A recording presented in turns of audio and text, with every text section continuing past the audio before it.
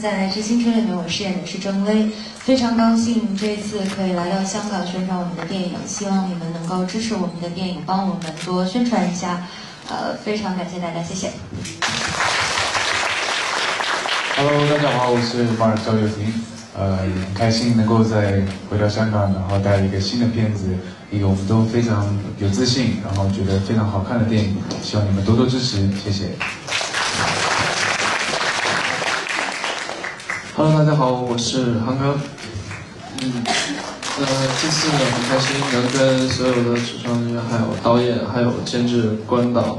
一起把这部片子带到香港，跟香港的所有的观众朋友一起分享。也希望大家能多多支持。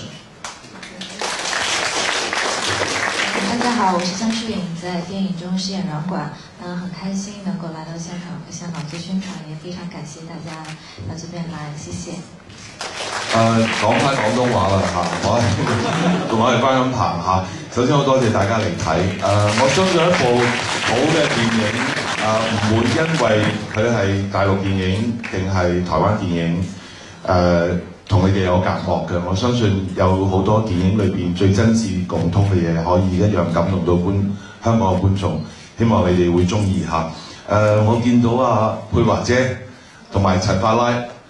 多謝你哋嚟睇，多謝多謝。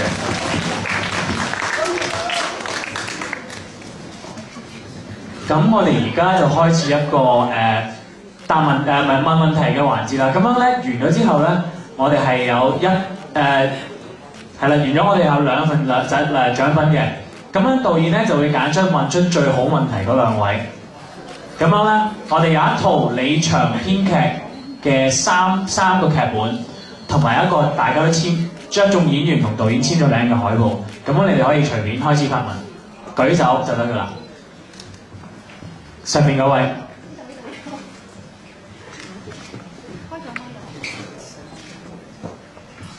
哦，我想问一下张薇，呃，你好，那个电影里有一句很有名的，就是印象深刻的一句话，就是青春，就是到最后会变成自己讨厌的人的样子。我想问问看你对你青春的看法，谢谢。对对对，我还蛮幸运的。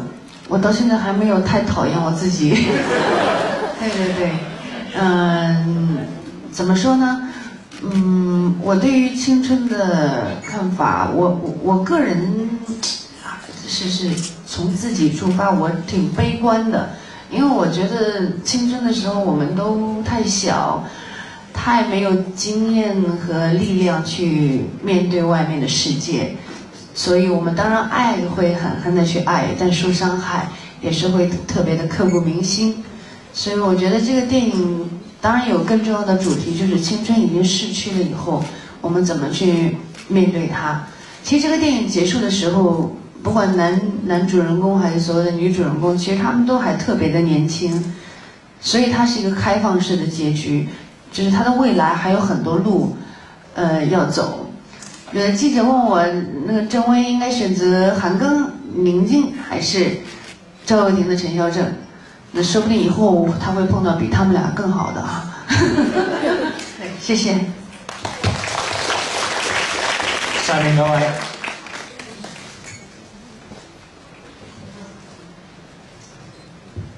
你好，我想問下咧，趙薇咧咁。係演員做導演噶嘛，咁有冇啲乜嘢特別？有冇唔同咧？咁其他嘅演員會唔會好似趙薇咁樣，會遲啲都會變，會學下試下做下啲導演咁樣？問那個演員和導演的區別？對，還有還有那些演員，對，你們會不會大家都想去當導演？對對對，對，我覺得。当完导演以后，我觉得演员跟导演原来都是那么难做的一件事情，尤其是你想做到自己的理想，那是要付出很多的代价。那如果没有热情，如果没有热爱，都都会是一个非常艰难的工作。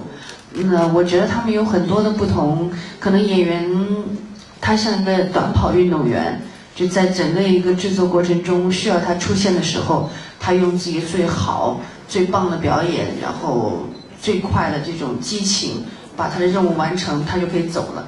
那导演是一个长跑运动员，要从头开始像马拉松一样，经历很多道步骤和过程，这不到最后一分钟都松不下一口气。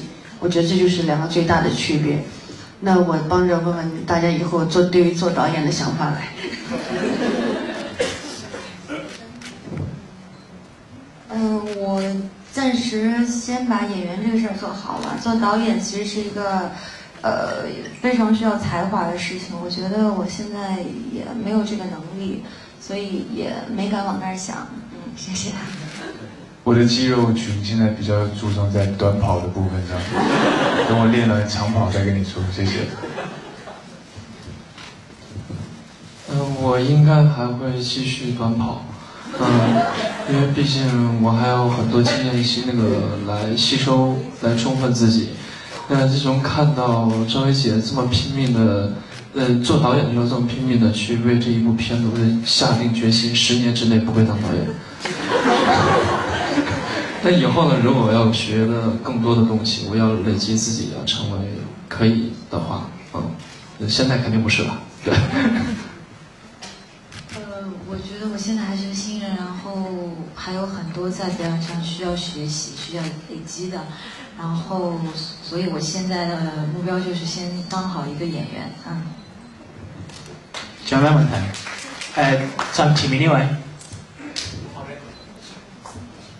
你好，網上流傳咗一段説話，就話張開係一種暗戀，咁林靜就係一種遺憾。咁想睇下你哋每個人可唔可以用一個詞語嚟形容一下自己？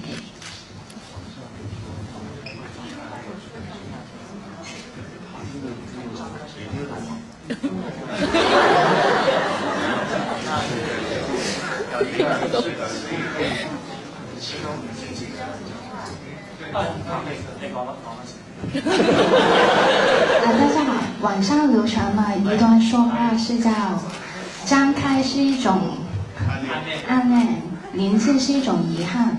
那你们能不能用一个词来形容一下自己？这个角色吗？他们的角色。我本人。我本人，我觉得我现在本人的话，我觉得很幸福。对，呃，无论是工作、生活。或者等等等等，还有我的家庭，我觉得我现在很满足。那尤其在工作方面上呢，无论是音乐上，还有电影上，电影上碰到了张伟姐和关导，说有这样的一个支持，能参加这样的一个荣幸的这么好的一个电影，这是我最大幸福。我现呃，我现在应该是词的话就是珍惜吧。我觉得拍在《寄青春》上我觉得我应该。就懂得了珍惜现在自己所拥有的啊，不要到了以后就后悔自己当初没有经过很大的努力。对，所以我觉得珍惜这个词是我现在所要表达的。嗯。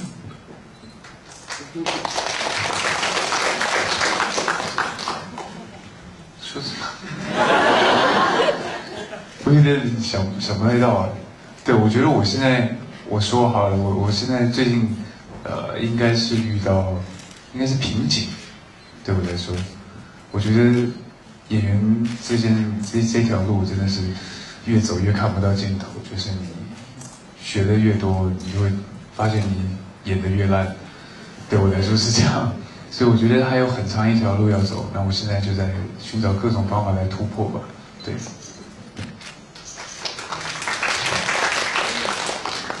呃，我觉得我现在这个阶段应该就是幸运吧。无论是从工作上还是生活上，嗯，因为其实能够遇到导演，能够拍一个这样的戏，演到一个这样的角色，对于我来说真的是一个莫大的幸运。那在生活上的话，我有很爱的人，很珍惜的朋友，我觉得我自己很幸运。谢谢。啊，最后一个问题，这位。誒你好啊，我想問咧，因為啱啱我睇完個戲咧，我覺得好心酸啊。誒，拍完之後其實你哋有冇崩潰過咧？喊唔到。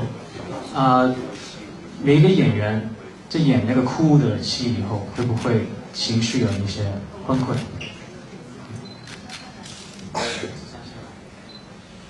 嗯，其实，在演这个戏的时候，有很多的过程其实是挺痛苦的。然后有没有崩溃过？我觉得我们可能在当下的时候，因为我们每一条，我们每每场戏都不止拍了一条，所以我们不可能就是说你哭完这一场你就崩溃了，没有办法再接着演下面的戏，所以都还是有控制再再去演演这样的情绪的。当然呢，一天的这种戏拍完了之后，当然情绪上是会非常的低落的，也挺难过的吧，嗯。呃，我觉得崩溃一定有，因为你要那么投入去演那些戏。但是我觉得这时候就会需要，对一个演员来说吧，安全感是很重要的。所以现场有一个好导演在的话，你知道你投入进去的时候，他会把你带出来，这是一非常重要的一点。对，所以对我们来说，其实呃还怎么讲，很幸运赵薇是在场。对。呃，我在拍这部戏的时候呢，用的时间不长，有二十多天。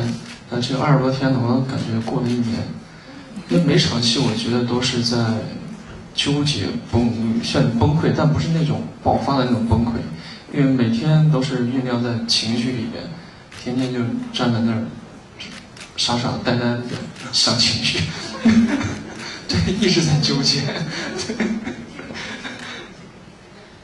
呃，我觉得我演的时候是会有崩溃的，然后。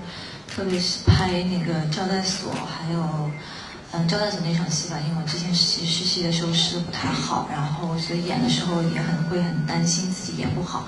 但是真的真的是非常感谢赵导、关导，然后他们给予我很多的帮助，然后帮我去卸下很多的负担，让我专心在这个规定情景下，让我去充分的能够感受这个人物。谢谢。嗯。那我们今天呢，赵导准备了两份非常啊，两两份礼物送给刚才问问题的观众。赵导，你要想。坏人让我来当了。刚才。一人送一把书分几半钱。这这这能不能？第一个最后一个好吗？第第一个还有最后一个。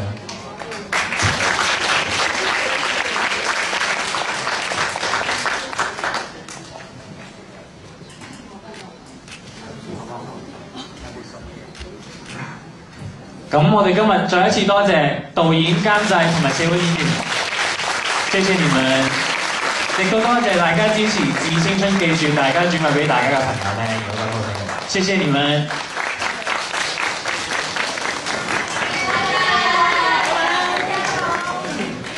其他觀眾請留一留座啊，轉頭你哋可以離開嘅啦，我哋送咗啲嘉賓離開先，唔該晒。